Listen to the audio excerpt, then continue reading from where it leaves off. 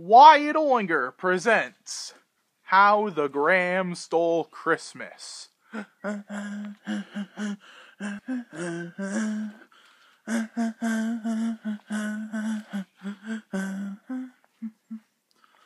All the folks down on Hazel Island liked Christmas a lot.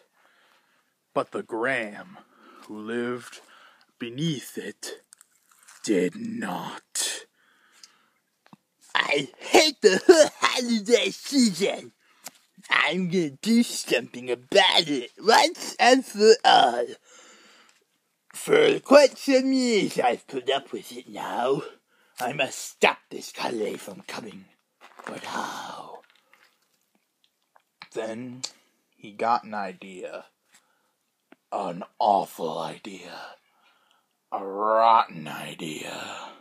I know just what to do, he said. I'm going to steal that Christmas. Aren't my ideas great? Your ideas 50% great, 50% extreme. See?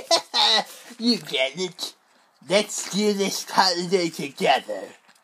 Sure. Alright. Let's begin. To be continued.